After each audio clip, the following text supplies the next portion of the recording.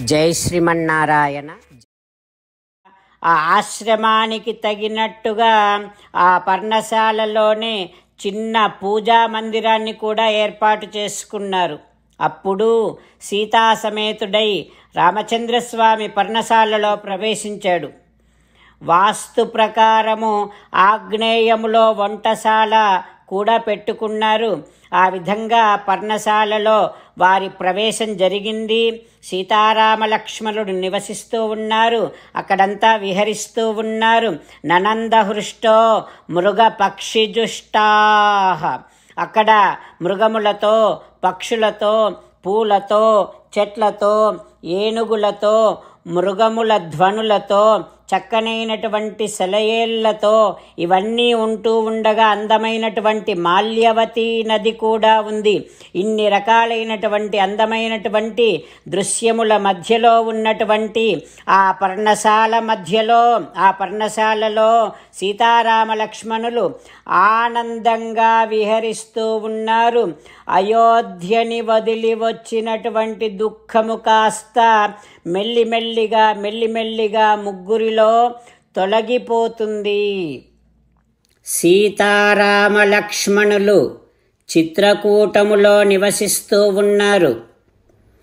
అయితే వీరిని పంపించిన తర్వాత గంగానదికి ఆవలి ఒడ్డున ఉన్నటువంటి సుమంత్రుడు గుహుడు సీతారామలక్ష్మణులు కనుమరుగు అయ్యేంత వరకు అక్కడే ఉండి ఆ తర్వాత సుమంత్రుడు గుహుడు ఇద్దరూ కూడా రాముడి యొక్క దివ్యమైనటువంటి గుణగణాలని జ్ఞాపకం చేసుకుంటూ రాముడికి వచ్చినటువంటి కష్టాన్ని గురించి ఇద్దరూ దుఃఖిస్తూ అక్కడే కూర్చొని ఉన్నారు.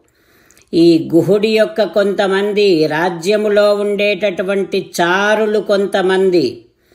సీతారామ లక్ష్మణులు చిత్రకూటానికి ప్రవేశించారని చిత్రకూటములో నివసిస్తున్నారని వారు భరద్వాజ ఆశ్రమానికి వెళ్ళి స్వామిని సేవించుకున్నారని ఈ విషయాలన్నీ తెలుసుకొని చారులు మళ్ళీ వెనక్కి వెళ్ళి గుహుడికి సుమంత్రుడికి ఇద్దరికీ చెప్పగానే వారిద్దరూ కూడా ఇక సీతారామ లక్ష్మణులు క్షేమంగా ఉన్నారు కదా అని తెలుసుకొని అప్పుడు సుమంత్రుడు గుహుడి ఆజ్ఞ తీసుకొని అయోధ్యకి బయలుదేరుతూ ఉన్నాడు సుమంత్రుడు.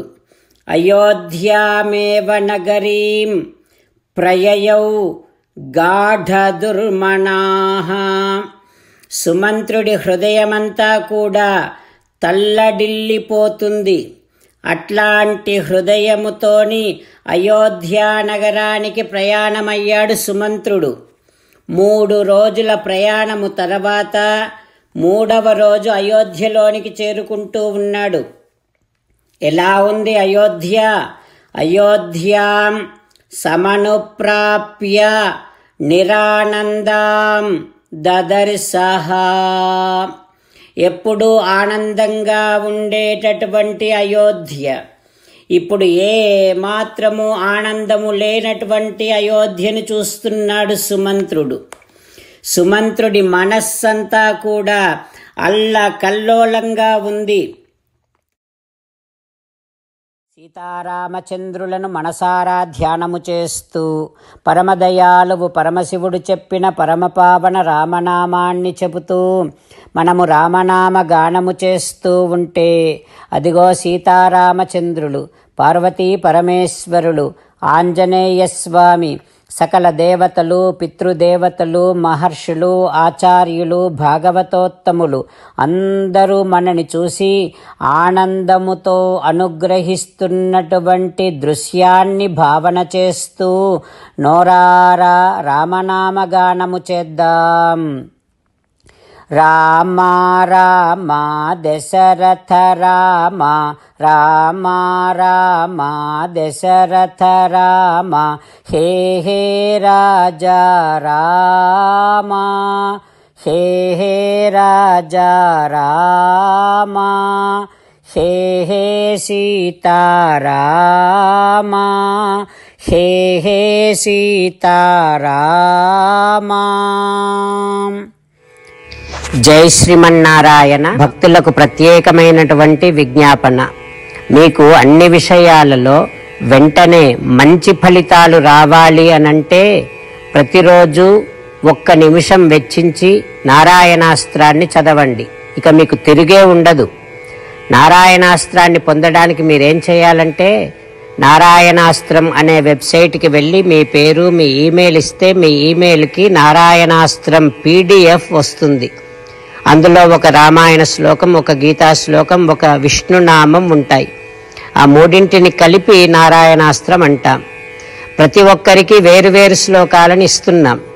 ఆ రకంగా ఎవరి శ్లోకాన్ని వారు ప్రతిరోజు తప్పనిసరిగా చదవటం వలన ప్రతిరోజు ప్రతి ఇరవై నాలుగు వేల భక్తులతో ఒకసారి సంపూర్ణ రామాయణ పారాయణ ముప్పై మూడు సార్లు శ్రీమద్ భగవద్గీత పారాయణ ఇరవై నాలుగు సార్లు శ్రీ విష్ణు సహస్రనామ స్తోత్ర పారాయణ జరుగుతుంది. ప్రతి ఒక్కరికి అంతటి విశేష ఫలితము ప్రతిరోజు లభిస్తుంది. అందుకని మీరు మీ కుటుంబ సభ్యులు అందరూ ఒక్కొక్కరు ఒక్కొక్క నారాయణాస్త్రాన్ని వెంటనే పొందండి. జై శ్రీమన్నారాయణ. శ్రీమద్ భగవద్గీత సారాంశముగా పద్దెనిమిదవ అధ్యాయములో అరవై ఐదు నుంచి అరవై తొమ్మిది శ్లోకముల ద్వారా శ్రీకృష్ణ భగవానుడు మనందరినీ ఒక ఎనిమిది పనులు చేయమని చెబుతూ పరమాత్మ ఈ రకంగా అంటూ ఉన్నాడు.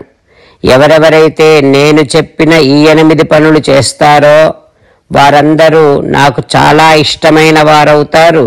అప్పుడు వారిని నేను సకల పాపముల నుండి సకల దుఃఖముల నుండి విముక్తులను చేసి నా అంతటి వారిగా చేసుకుంటా తరగని ఆనందాన్ని అనుభవింపచేస్తా.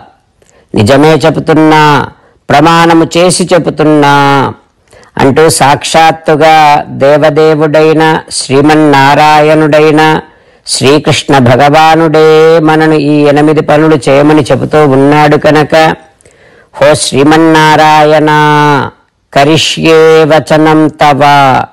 తప్పకుండా చేస్తా. నువ్వు చెప్పినట్టే చేస్తా. అంటూ మనం ప్రతిరోజు దేవదేవుడైన శ్రీమన్నారాయణుడికి ఈ రకంగా మాట ఇద్దాం. హో శ్రీమన్నారాయణ నువ్వు చెప్పినట్టే నేను నిన్నే సంతతము ధ్యానము చేస్తూ ఉంటా. హో శ్రీమన్నారాయణ నువ్వు చెప్పినట్టే నేను నీ భక్తుడిగానే ఉంటా. హో శ్రీమన్నారాయణ నువ్వు చెయ్యమన్నట్టే నేను నా విధులను కర్తవ్యాలను నీ సేవగా నీ తృప్తి కోసమనే సక్రమంగా నిర్వర్తిస్తూ ఉంటా. హో శ్రీమన్నారాయణ నువ్వు చెప్పినట్టే నేను నీవాడిని అనే మహావిశ్వాసాన్ని సంతతము కలిగి ఉంటూ నా హృదయములో నీకే నమస్కరిస్తూ ఉంటా. హో శ్రీమన్నారాయణ మామేకం శరణం వ్రజ. నన్నొక్కడిని మాత్రమే శరణు వేడుకో అని నువ్వే అన్నావు కనుక నేను నిన్ను ఒక్కడిని మాత్రమే శరణు వేడుకుంటా. హో శ్రీమన్నారాయణ మా ఇక దుఃఖించకు అని నువ్వే నాకు భరోసా ఇస్తూ ఉన్నావు కనుక నేను ఇక దుఃఖించనే దుఃఖించను. హో శ్రీమన్నారాయణ నువ్వు చెప్పినట్టే నువ్వు నా కోసమని చెప్పిన శ్రీమద్ భగవద్గీతను ఎప్పుడో ఒక్కసారి కాకుండా ప్రతిరోజు కనీసము ఒక్క శ్లోకాన్నైనా అనుసంధానము చేస్తూ గీతోపదేశాన్ని జ్ఞాపకం చేసుకుంటూ ఉంటా. హో శ్రీమన్నారాయణ నువ్వు చెప్పినట్టే నువ్వందరి కోసమని చెప్పిన శ్రీమద్ భగవద్గీతను తెలియని భక్తులందరికీ తెలియచేసే నా వంతు ప్రయత్నాన్ని నిరంతరము కొనసాగిస్తూనే ఉంటా. హో శ్రీమన్నారాయణ నేను నువ్వు చెప్పినట్టే చేస్తా. నీకు నచ్చినట్టే ప్రవర్తిస్తా. నీకోసమే పని చేస్తూ ఉంటా. కరిష్యే వచనం తవ. సర్వం శ్రీకృష్ణార్పణమస్తు. జై శ్రీమన్నారాయణ.